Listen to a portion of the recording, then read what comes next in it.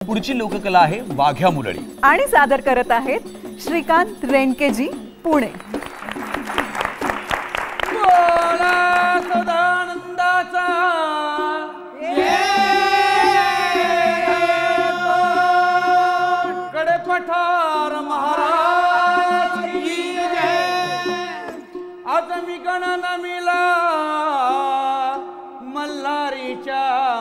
ಸಾಬ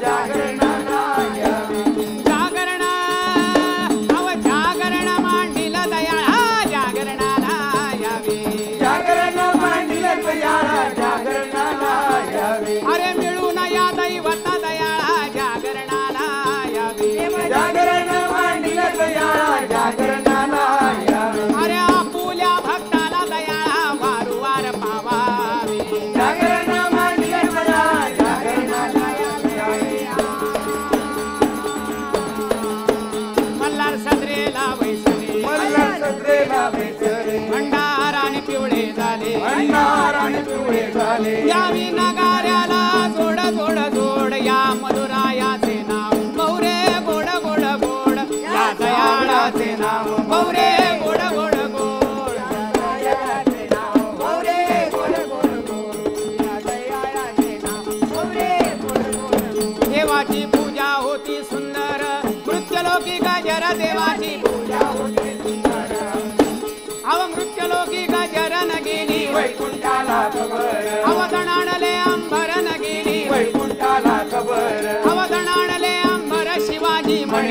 Padre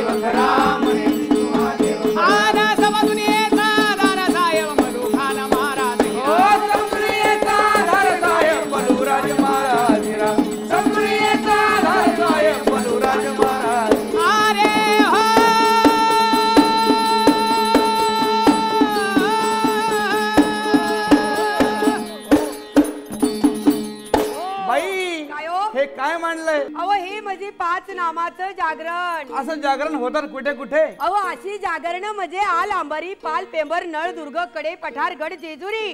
आणि राहिली सायलेली म्हणजे आज ह्या ठिकाणी चालल्या वा वा वा वा. भोळ्या भक्ताने काय मागितलं खंडेरायाकडं? अहो या देवाला या भोळ्या भक्तांनी काय मागितलं देवा?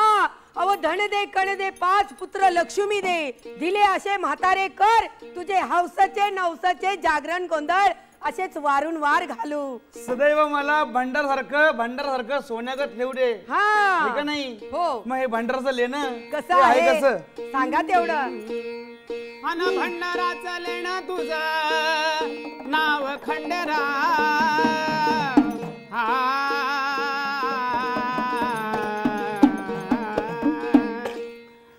भंडाराचं लेणं तुझं. नाव खंडराव आणि जेजोरीच्या देवा माझ्या नवसाला बहालीच्या देवा माझ्या कडे पठारच्या देवा माझ्या नवसाला पाव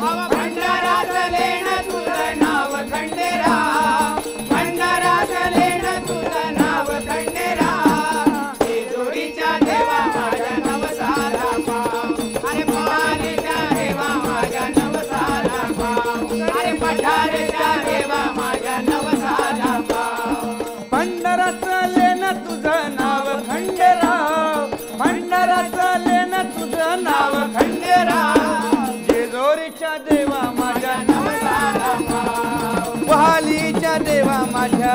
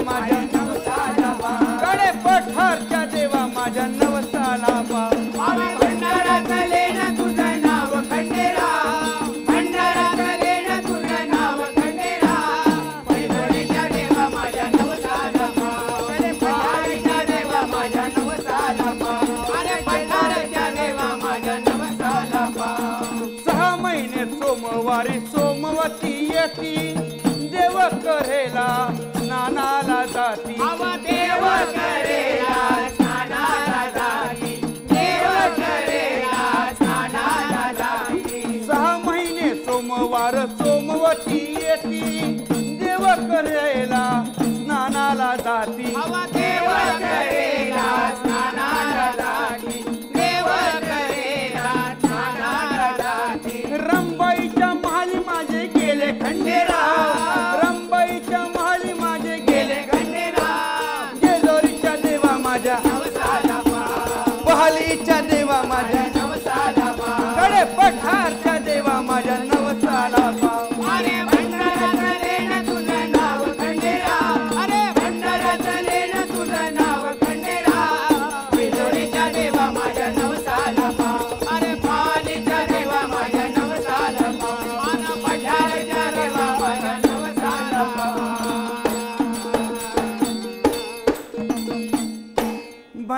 तुझं. नाव खंडेराव. कडे पठारच्या देवा माझ्या. माझ्या नवसाला पाव. बानुबाई म्हणजे कोण? अहो बाणू म्हणजे कोण माहिती नाही. कोण बरं? चुलती आहे. बघा चुलती. अरे नकट्या नाकाच्या. बानुबाई म्हणजे देवाची बायको. अहो ह्या खंडोबाची बायको. वा वा? वा. पण बायको म्हणजे कशी हो? कशी बरं? अहो ही माझी दुसरी बायको. म्हणजे? या देवाची लग्नाची बायको कोणती? दोन दोन बायका देवाला. अहो या देवाला पाच बायका आहेत लोकांना! काय झालं? तुमचा देव कसा हा छंदीबाज? अहो छंदीबाज म्हणजे त्यांच्या बायका कशा आहेत त्या तुम्हाला सांगते. सांगा सांगा. अहो देवाची पहिली बायको हा. माळसा वाण्याची. माळसा वाण्याची. आता माळसा म्हणजे ही लग्नाची. बर. आणि देवाची दुसरी बायको कोण बरं? ती म्हणजे बाणू धनगराची. प्रेमाची. हा आता माळसा म्हणजे कोण? कोण? पार्वतीचा अवतार. वा वा. आणि बाणू म्हणजे कोण? शंकराच्या जठेतली गंगा. गंगेचा अवतार. आणि तिसरी बायको देवाची कोण? कोण बरं? अहो फुलाई माळ्याची. फुलाई माळ्याची. हा आणि देवाची चौथी बायको. चौथी. अहो रंबाई शिंप्याची. पिंपची सुद्धा. आणि पाचवी म्हणजे कोण? कोण बरं? अहो चंदाई बागवणी मुसलमानाची शटप काय झालं? काय पण नका बोलू. झालं काय? हा देव हिंदूचा आहे. आणि मग अहो हा देव अठरा पकड जातीला आहे? कुठल्या बी जातीमध्ये हळद लागल्याशिवाय नवर ते होतो का? नाही. पहिली हळद. मग लग्न. मग लग्न. आहे की नाही? हा. म्हणजे असं पाच बायका देवाला आहेत. आहे की नाही? आणि देवानी काय केलं? बरं? अहो बाणूचा छंद घेतला. आणि बाणूचा छंद घेतला.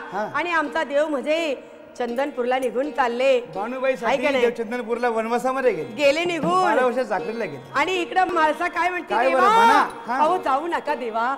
अहो किती जरी झालं तरी मी लग्नाची म्हाळसा. बर. माझी सर येईल का त्या धनगरणीला? नाही. जाऊ नका देवा. बर. अहो नका जाऊ देवा. जाणार? तुझं ऐकतो आणि इथंच बसतो. जात नाही काही. प्रधानजी पाहिलं का देव काय म्हणतात? मी चाललोय बानुबाई कडे चाललात? हा. अहो जेजुरे नगरी पाल पेंबरी गाव गाव धुंडला. पण मल्हार माझा नाही मला दिसेला अहो मल्हार माझा नाही मला दिसेला अहो मल्हार माझा माझ्यावरी रुसला.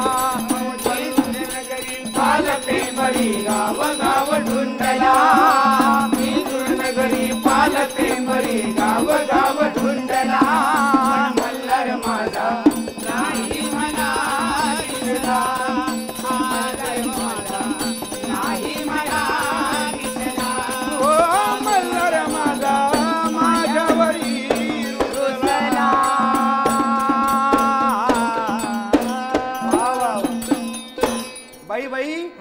खंडोबा म्हणजे अवतार कुणाचा? अहो हा अवतार म्हणजे शंकराचा आहे. शंकराने मनी म्हणले दैत्य मारण्यासाठी हा अवतार धारण केला. पण कधी घेतला. आणि हे मल्हारी मार्तंड काय हो? आज भक्ताच्या नवसाला पावावेत हा. म्हणून काय म्हणतात?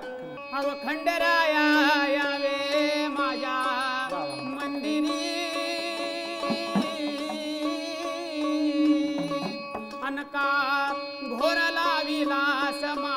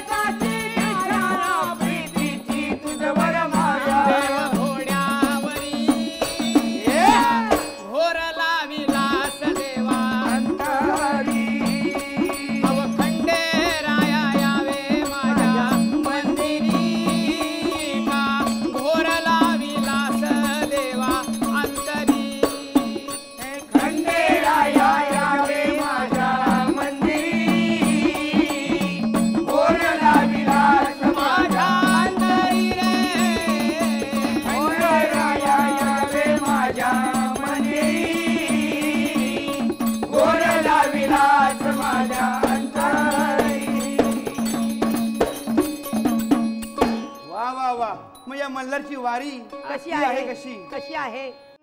धनी माझा शिव मल्हारी निळ्या घोड्यावरती स्वारी.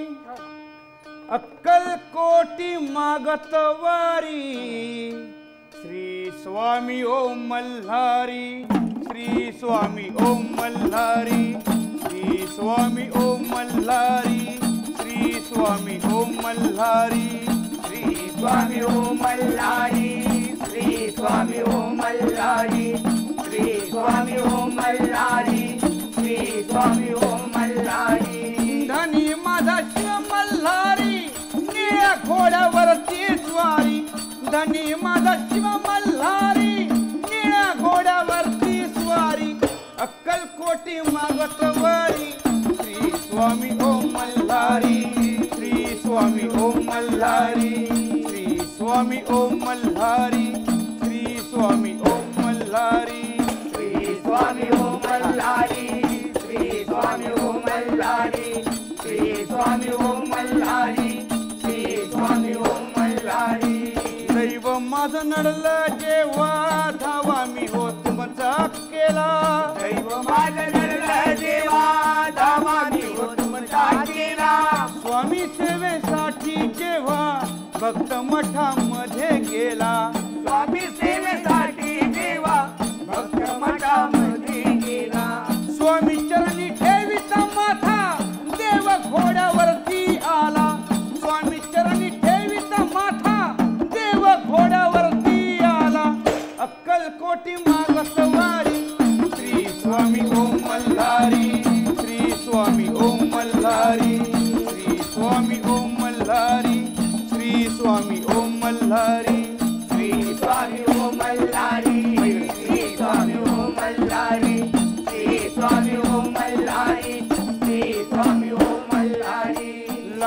फेटा घालून मग तो फक्त पाहुनी हसला.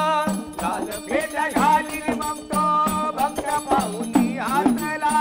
लाल फेटा घालून मग तो फक्त पाहुनी हसला. लाल फेटा घालून मग तो भक्त पाहुनी हसला. त्याच मठामध्ये त्याने मंत्र जेव्हा उच्चारिला याच्या मठामध्ये त्याने मंत्र जेव्हा उच्चारिला. त्याच मठामध्ये त्याने मंत्र देवा उच्चारिला. त्याच मठामध्ये त्याने मंत्र देवा उच्चारिला. कैलासी सराना नांदे तोच भंडाऱ्या डोंगरी. तोच कैलासी सराना नांदे भंडाऱ्या डोंगरी. अक्कल कोटी मागत श्री स्वामी ओ मल्हारी. श्री स्वामी ओम मल्हारी श्री स्वामी ओम मल्हारी श्री स्वामी ओम मल्हारी श्री स्वामी ओम मल्हारी श्री स्वामी ओम मल्हारी श्री स्वामी ओम मल्हारी श्री स्वामी ओम मल्हारी पारंपरिक प्रकार जो वाघ्यामुळे आहे तो तुम्ही या ठिकाणी सादर केला आहे पण मग आम्हाला याची विस्तृत माहिती पाहिजे. कारण आजकाल सगळेजण वाघ्यामुळी करतात. पाच पाच सहा सहा जोड्या मिळून वाघामुळी करतात. एक गाणं घेतात आणि करतात. पण त्यात आम्हाला पारंपरिकता काय मिळतच नाही. म्हणजे त्यामध्ये ढोलकी वापरलेली असते डिमडी वापरली सगळ्या वाद्य वापरलेली असते. तुम्ही आम्हाला याच्याबद्दलची जरा विस्तृत माहिती द्या. सर धन्यवाद. मला या रंगमंचावरती आज वाघ्या मुरळी या परंपरेविषयी खरेपणा सांगायला मिळतोय. याबद्दल मी दिनदिन दहा या कार्यक्रमाचा आभारी आहे. आणि आपल्या सर्वांचा आभारी आहे. खंडरायाची स्तुती करतात त्याला म्हणतात वाघ्या मुरळी. वाघ्या मुरळी म्हणजे फक्त वाघ्या मुरळी असं म्हणत नाही तर खंडेराचं जागरण त्याला म्हणतात. त्याच्यामध्ये खंडेराला जागृत केलं जातं. त्याला म्हणतात जागरण. आणि या ठिकाणी जागरणामध्ये दिमडी तुंतुन आणि टाळ ही वाद्य असतात मुरळी आणि वाघ्या. हे देवा देवासमोर नर्तन करतात. नर्तन करून गाणं गाऊन देवाला जागृत करतात. याला म्हणतात जागरण. हातामध्ये मुरळीच्या हातामध्ये घाटी. घाटी आहे. हा. बरोबर आहे बरोबर आहे. मग अ, या ठिकाणी तुम्ही संपूर्ण घट उभा केलेला हा. आहे त्याच्यामध्ये बाजूला एक लोखंडाचं त्याला लंगर बोलतात. हो सर. हा त्या त्याचा काय अर्थ आहे?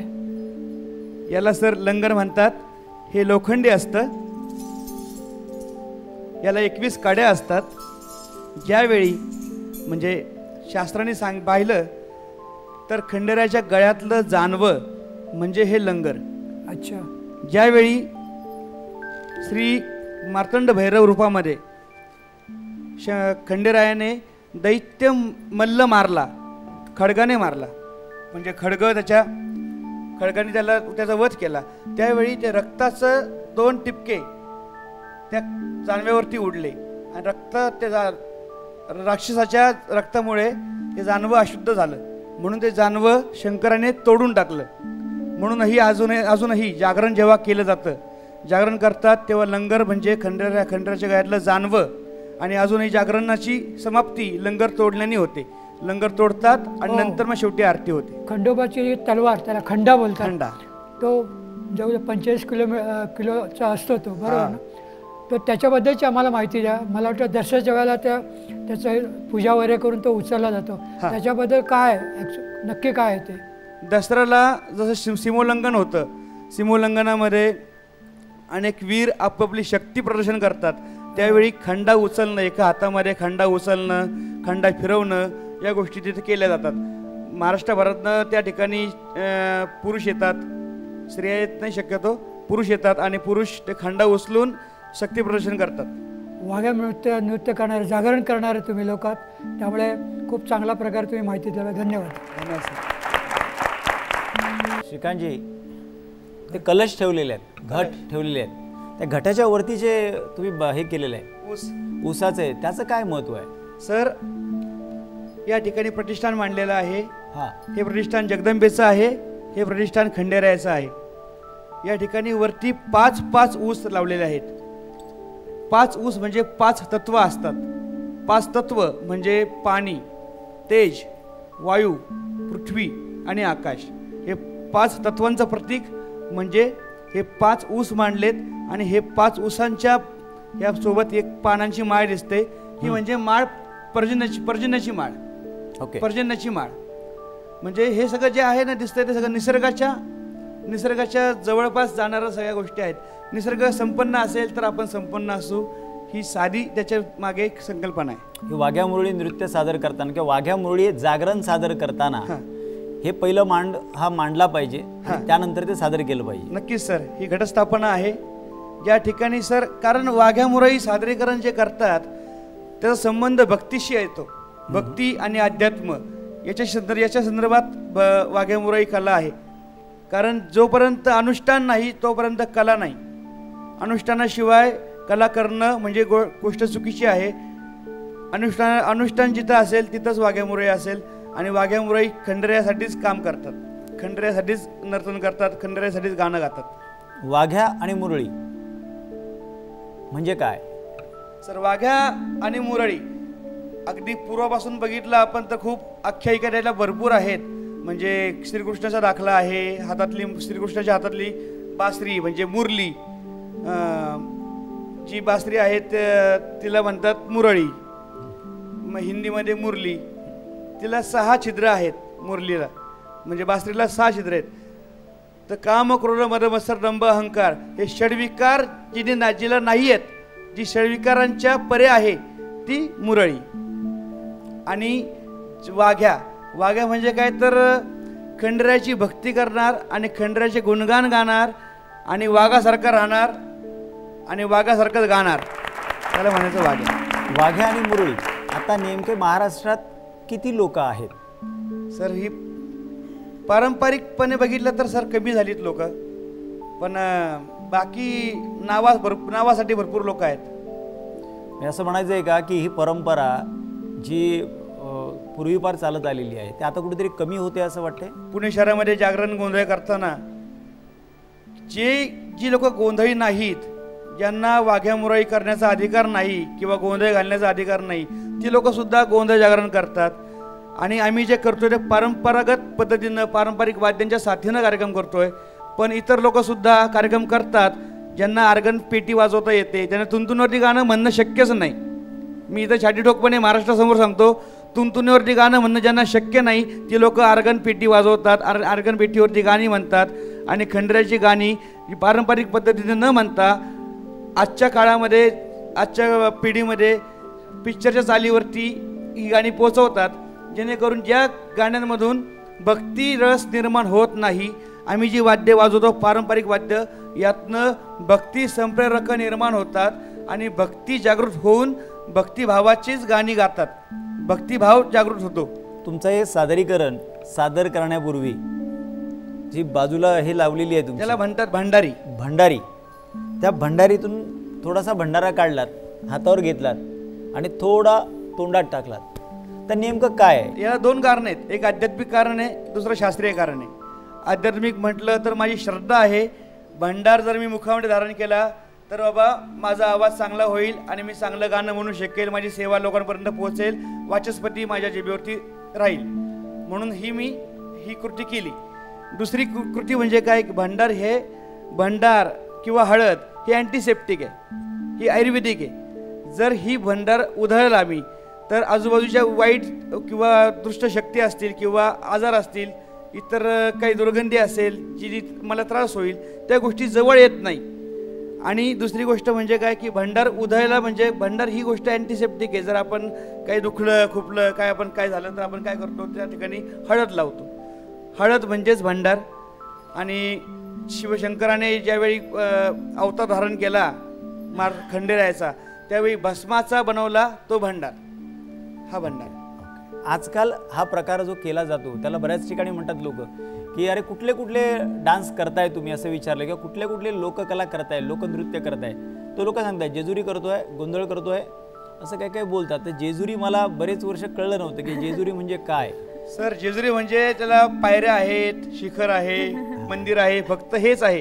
जेजुरी म्हणजे डान्स नाही. म्हणजे त्याला वाघ्या मुरळी म्हणतात. हा. या या मंचावरून या महाराष्ट्रातील सर्व लोकांना कळावं की जेजुरी हा प्रकार कुठल्या डान्सचा नसून वाघ्या मुरळी हा प्रकार आहे आणि तो अशा पद्धतीने सादर केला खरे जातो सर वाघ्या मुरळी सादर करताना जर लहान मुलं बघत असतील वय वर्ष बारा अकरा बारा वर्षाची मुलं त्यांना वाघ्या मुरळी समोर दिसलं की अर्गण लागलाय पेटी वाजली कच्छी वाजली आणि अगदी वल्गर डान्स चालू आहे. दोन चार मुरळ्या नाचतायत आणि चित चित्रपट सिनेमाच्या गा चाल्यावर चालीवरती गाणी म्हणतायत आणि भंडार भरमसाठ भंडार उधळत आहेत लोकांच्या नजरेमध्ये त्या मुलाच्या नजरेमध्ये तेच राहील की हे वाघ्या मुरळी आहे. त्याला खरे वागेमुरही करणं कळणार नाही. जो जेव्हा मोठा होईल आणि जेव्हा आमच्यासारखा माणूस काहीतरी पारंपरिकरित्या साजरा करेल तो म्हणे अरे हे काय? हे किती बोर आहे. हे नका करू. ते तसलंच पाहिजे. मस्त डान्सिकल क्लासिकल म्हणजे हे काय? सर परंपरा लुप्त होईल ना अशाने. म्हणून म्हणतोय सर परंपरा लुप्त व्हायची नसेल तर परंपरा जतन केली पाहिजे. आत्ताच परंपरेचं पालन झालं पाहिजे तरच परंपरा जतन होईल आणि ही परंपरा पुढच्या पिढीपर्यंत पोहोचेल. लोककला लोप पावली नाही पाहिजे लोकनृत्य लोप पावली नाही पाहिजे. त्याचा आज लोकांपर्यंत नवीन पिढी नवीन पिढीपर्यंत ती गेली पाहिजेत. त्या तोच हा प्रयत्न आहे. म्हणून आम्ही तुम्हाला इथे बोलवलं आहे आणि अशा वेगवेगळ्या लोककला लोकनृत्य या मंचावरून या अख्ख्या महाराष्ट्राला काय अख्ख्या जगाला दाखवण्याचा प्रयत्न आहे. धन्यवाद सर.